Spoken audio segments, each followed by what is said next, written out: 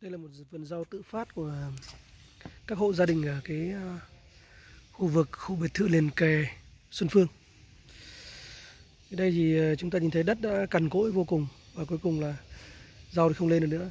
Chỉ một số cái khu vực thì họ như vừa mới bổ sung đất màu ở đây, thì còn cây còn trồng lên được một chút.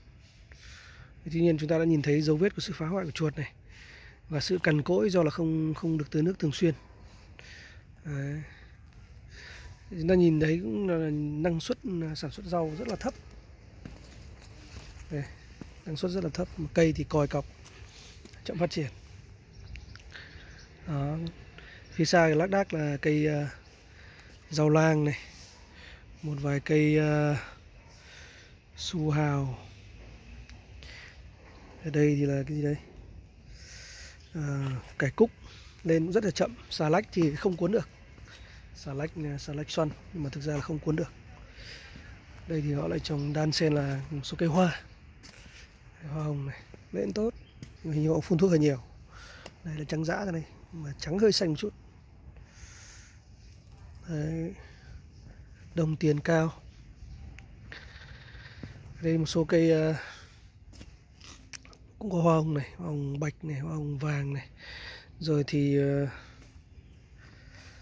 một số cây uh, húng. Đây xà lách xoăn xà lách đầm, rau ngót cà chua. Xa xa kia một dàn cà chua kìa.